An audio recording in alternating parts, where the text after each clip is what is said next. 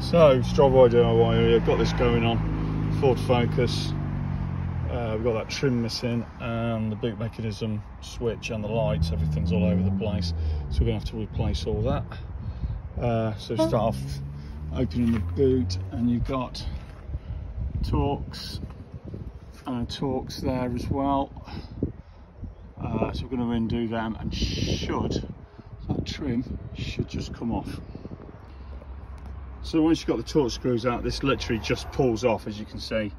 It's got these clips and they just go into uh, the holes in places like that.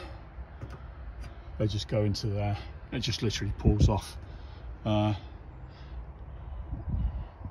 there's your uh, wiper motor, all the wiring, stuff like that. So it's these bits here that we've got to try and get off. So we'll be doing that from the other side by the look of it.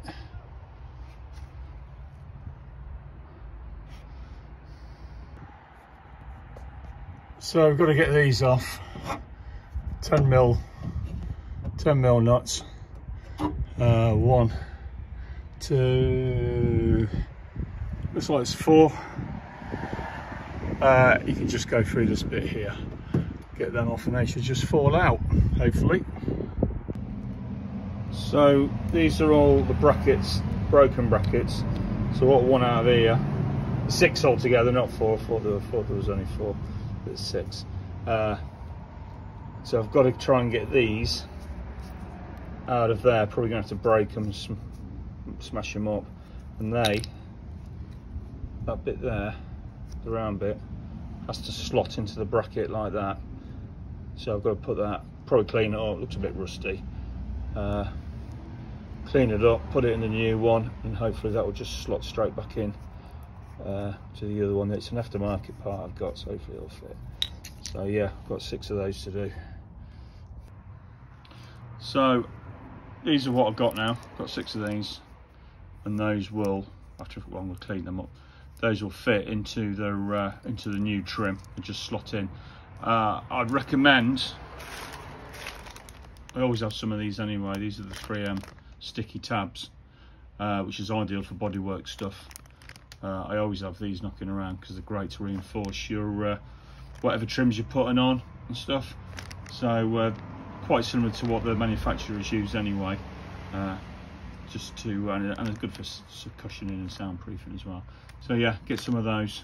So the next bit is to apply this to the new trim. Uh, put these in the new trim and put it on the body hopefully it will fit just nicely. Right, so we're going to uh, fit the screws and I've got the screws out and they just slide in like that. Uh, we've got a couple of new lights, registration plate lights.